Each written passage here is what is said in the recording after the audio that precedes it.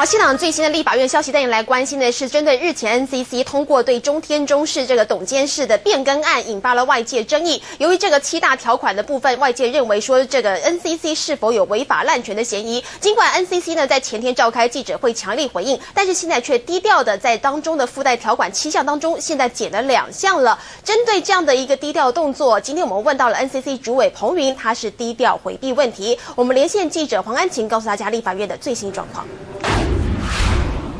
各位观众早安，来先关心目前立法院的最新状况。针对中天和中视董监事变更案呢，NCC 在上个礼拜在没有法院意志的情况之下呢，对中天和中视做出了七项的附附带条款的这样条件来要求。不过呢，昨天呢态度软化哦，来把这个七项变成只剩下五项。但是为什么这中间会有这样的转环呢？是不是自己知道自己本身法律站不住脚？今天 NCC 的主委彭宇面对这样子一个尴尬的一个话题的时候呢，可以说是相当低调，不愿意正面回应。我们听看稍到访问。会了会了，对，谢谢谢谢。主委，请问一下，这个昨天不不不不不，那个那个那个软化了吗？还是什么变更呢？主委，我们开始还还有可能做一些转换的余地吗？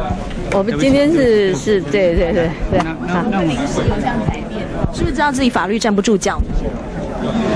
我们今天是来报告我们该报告的部分。好，谢谢。昨天为什么会有这样子大转变？待待会，我你才没办法进是有在有在这个刊登广告看到信息，你有看到吗？谢谢。待会待会我们待待会的话，我们要要开这个开会。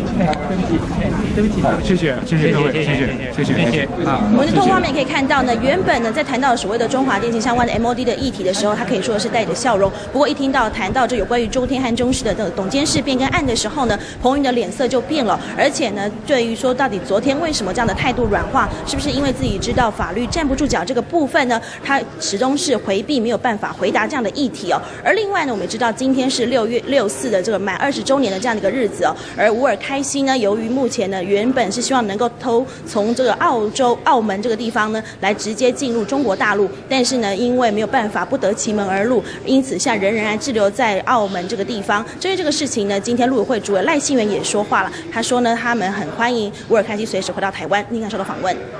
啊，因为啊，乌尔开西是拿着是中华民国的护照哦，是中华民国的国民哦，所以我们啊会充分尊重他个人的自由的这样的一个呃意志哦。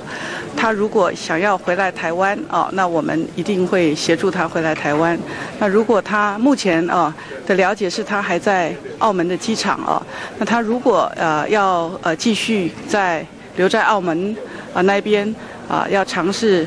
呃，希望能够呃进到澳门的话，那我们也尊重，而且也跟澳处，我我的了解是我们的澳处哦。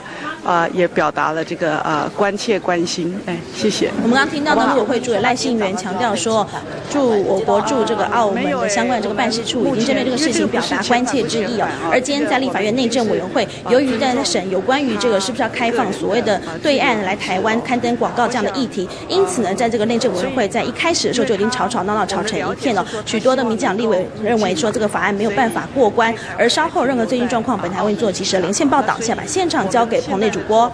好，谢谢安杰连线报道，这是来自于立法院现在的最新状况。